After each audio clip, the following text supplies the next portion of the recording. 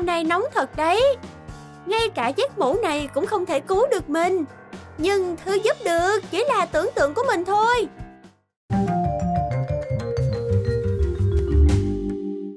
Tắm nắng trên bãi biển thật tuyệt vời. Nhưng hãy cẩn thận với ánh nắng mặt trời. Chúng ta cần phải có bóng râm ngay lập tức. Nhưng làm thế nào đây? Chúng mình hết nước rồi. Bãi biển đang biến thành nơi tra tấn kìa. Có lẽ biển sẽ giúp được đấy. Nhưng cũng có chướng ngại vật. Có thể biến thành lợi thế nè. Carrie và Emily biết phải làm gì rồi. Ba chiếc gậy này sẽ hỗ trợ tuyệt vời làm thành cái lều. Và chúng ta có thể làm mái nhà từ vải dày này. Đặt gậy trên cát giống thế này. Bây giờ bạn sẽ cần một sợi dây và một vài thanh gỗ xiên.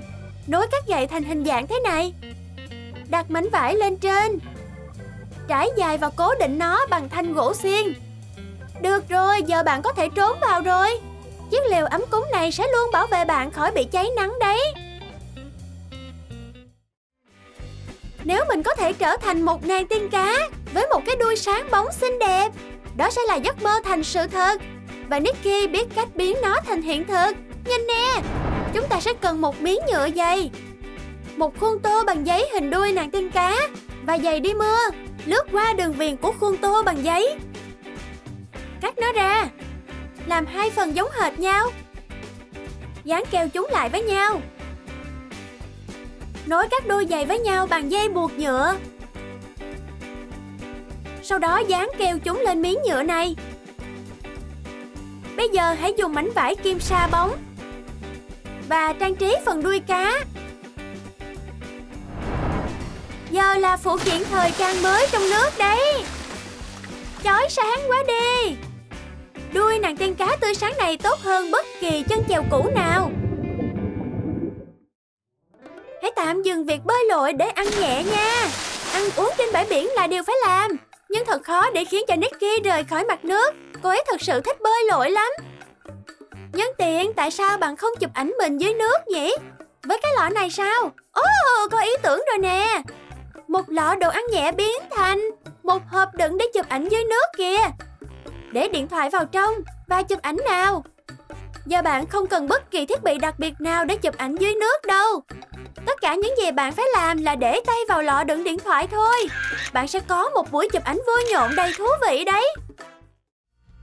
Nếu bạn để kem dưới trời nắng gắt thì bạn sẽ rất thất vọng đấy. Nếu cuộc đời cho bạn món kem tan chảy thì hãy làm món sữa lát nào. Chỉ cần đổ kem vào trong cốc nhựa này.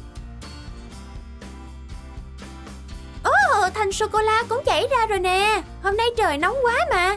Được rồi, cùng làm món đồ uống ngon hơn nữa đi. Uhm, đúng là món ăn kèm ngon tuyệt. Bây giờ hãy cắm ống hút vào thôi. Đây là một kỳ nghỉ hè tuyệt vời.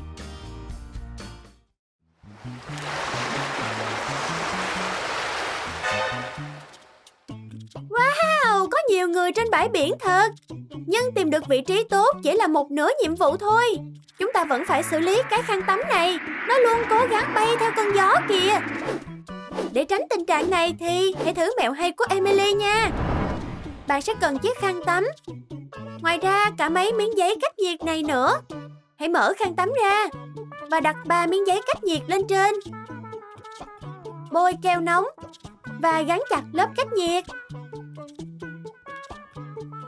Gấp nó lại giống như thế này và dùng một sợi dây thừng dây dán chặt nó trên cả hai mặt của tấm thảm để làm tay cầm. Tấm thảm đi biển di động của bạn đã xong rồi. Rất thoải mái và dễ dàng đấy. Trừ việc Dicky không được vui lắm. Vì so với chiếc giường tắm nắng mềm mại của Emily, chiếc khăn tắm bình thường của cô ấy siêu khó chịu. Nếu bạn hụt mất một chỗ tốt, có thể sẽ gây khó chịu. Mình chỉ có một chút lông nách lòi ra thôi mà. Nhưng không có cách nào để loại bỏ nó ngay trên bãi biển đâu. Thôi nào, không sao mà. Không thể nào. Emily có một mẹo cứu nguy.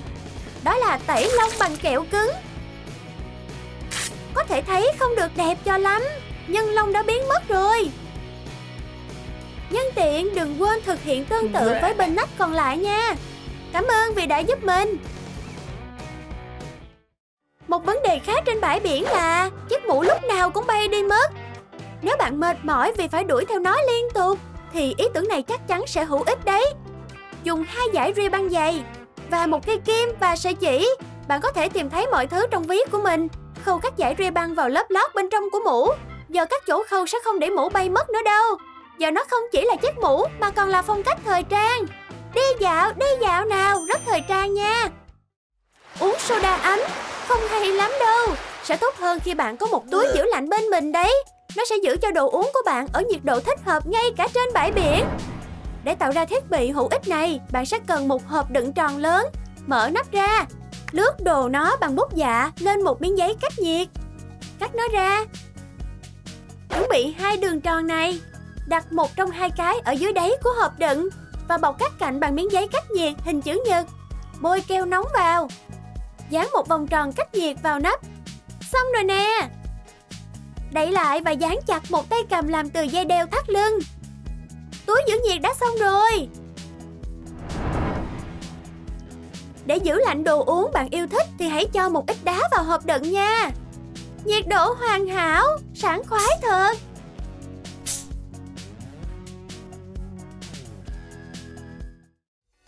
Bạn rời khỏi mặt nước và tất cả rong biển trên thế giới đều dính vào tóc của bạn. Sau đó thì bạn sẽ muốn tắm rửa đúng cách đấy. Tắm vòi sen thì sao? Nghe hay thật. Cùng làm vòi sen từ những thứ chúng ta có nào. Dùng một bình nước lớn và một cái dùi. Tạo lỗ trên bình nhựa. Vòi sen tắm gần xong rồi. Tất cả những gì bạn phải làm là nhờ sự trợ giúp của bạn bè. Uhm, tuyệt quá đi mất. Thật hay khi rửa sạch được rong biển và cát nè. Rất nhiều người thích bơi trên phao bơi đệm ngoài biển đấy. Nhưng không ai thích làm sẹp nó đâu. Đây là điều tồi tệ nhất từ trước đến giờ. Này Carrie, đừng tự hành hạ mình nữa. Chỉ cần sử dụng kẹp bướm này là được. Gắn nó vào van đệm và không khí sẽ tự thoát ra khỏi đệm bơm hơi. Kẹp bướm hiệu quả thật. Đệm hơi xẹp lại chỉ trong vài giây kìa.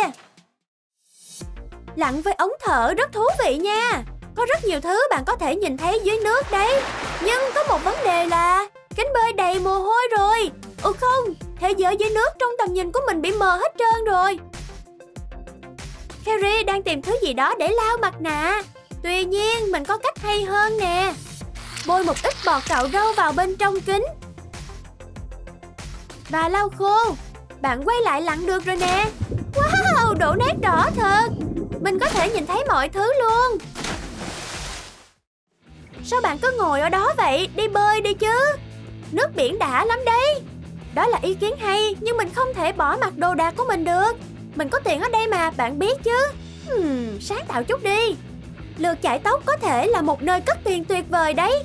Tháo phần lông lượt trên cùng ra và bỏ tiền vào bên trong. Đóng lại. Xong rồi nè. Bạn có thể thư giãn trong yên bình và nằm xuống sóng biển rồi. Nó trông như lượt chải tóc bình thường vậy. Ai sẽ lấy nó được chứ? Nếu bạn thật sự sử dụng trí tưởng tượng của mình, bạn có thể biến mọi thứ trên bãi biển thành điều gì đó thú vị. Ngay cả trip keo yêu mơ này. Sao không làm một chút keo Sam Henna nhỉ? Đây rồi! Mình nghĩ đang vẽ khá tốt. Một chút trí tưởng tượng, sự chính xác và sự kiên nhẫn. Xong rồi nè! Và rồi hãy để mặt trời làm phần còn lại thôi.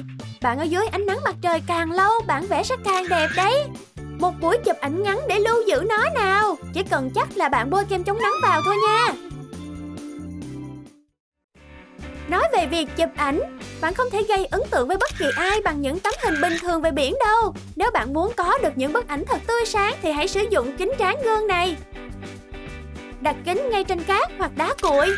Đứng vào để bạn phản chiếu trong kính. Và bây giờ bắt đầu tạo dáng thôi. Rất độc đáo có phải không? Và rất phong cách nữa. Ồ vâng, tất cả bức ảnh đều trở nên tuyệt vời nè.